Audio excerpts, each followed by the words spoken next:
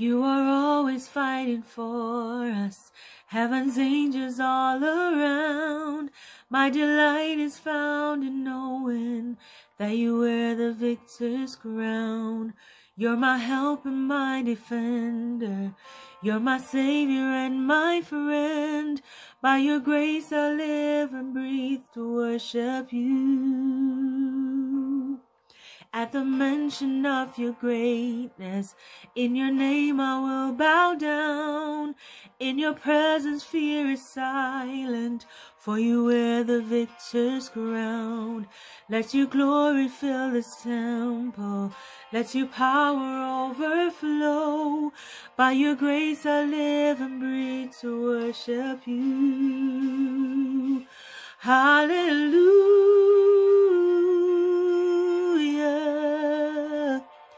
You have overcome. You have overcome. Hallelujah.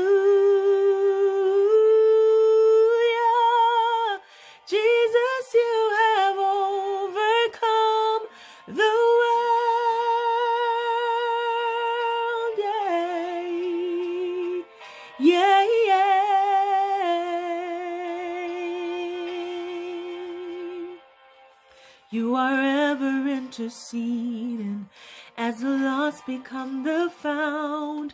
You can never be defeated, for you wear the victor's crown. You are Jesus the Messiah. You're the hope of all the world.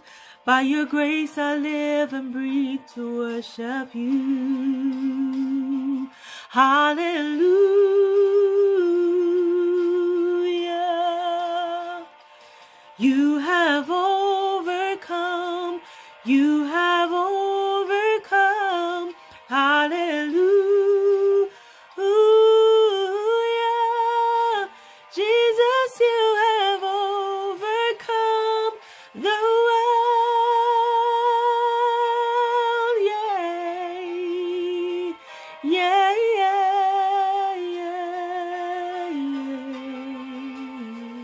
Hey everyone, welcome back. Um, I hope you enjoyed that song. Victor's Crown by Hillsong. Truly an inspiring song, encouraging us that we can move strongholds from our lives because God is already victorious. He died for us, and now we are able to claim victory in His name. You know, as I encourage you, I want to encourage you to believe on the Lord. Believe that this is possible. In Isaiah 53, verse 5, it says, But he was wounded for our transgressions, he was bruised for our iniquities. The chastisement for our peace was upon him, and by his stripes we are healed. And then it goes on to say in John 14, verse 12, Most assuredly I say to you, he who believes in me, the works that I do, he will do also, and greater works than these he will do because I go to my Father. Not only did Christ die on the cross so that we can receive healing and power and victory over our situations, but he has also given us the power to command these situations to change. Then it goes on, and you know, I want to encourage us to consecrate ourselves, get to a place of purity, confess our sins to God, repent, and that this is how we will truly be able to access the power of God.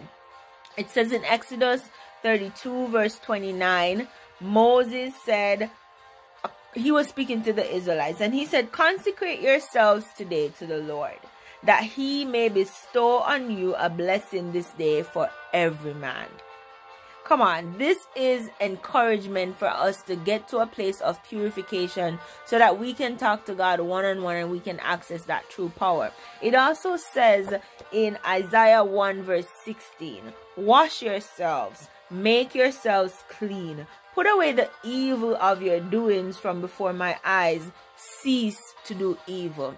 But not only should we have faith, not only should we consecrate ourselves and become desperate for a mighty move of God. But the Bible says that there is life and death in the power of the tongue. And this is found in Proverbs 18, verse 21. Saints of God, people of God, those who have not accepted Christ as yet, you have to speak things into being. If you want your situation to change, if you want a mighty move of God in your life, if you want strongholds to be broken down, then you must speak it out of your mouth. You have to declare it and it will be done. Let us pray. Father, we thank you. We believe that you are Abba Father, that you're the King of Kings, that you're the Lord of Lords. Truly, there is none higher than you, Lord God. There's none more powerful than you, Lord Jesus.